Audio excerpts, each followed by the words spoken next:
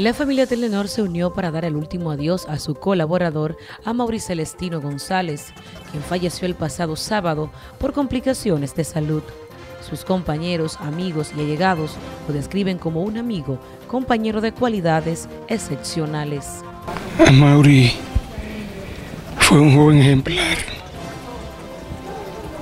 amigo de todo el mundo, nunca tuvo conflictos él viene de ser compañero de estudio de mi sobrino Luis Alberto y de esos muchachos que uno ve a diario. Ingeniero, muchacho que con mucho esfuerzo logró superarse y de buenas a primeras, es la vida, se nos va. Él estuvo por allá el día anterior a su partida e incluso el personal nos decía que por aquí estuvo Mauri es porque no me avisaron para, para, verlo, para saludarlo.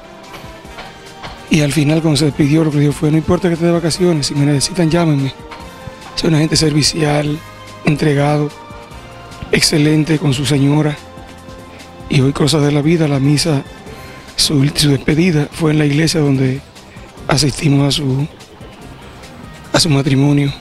Será recordado con una sonrisa por quienes tuvieron el placer de conocerle paz a sus restos. Para NTN, su noticiero regional, Joanny Paulino.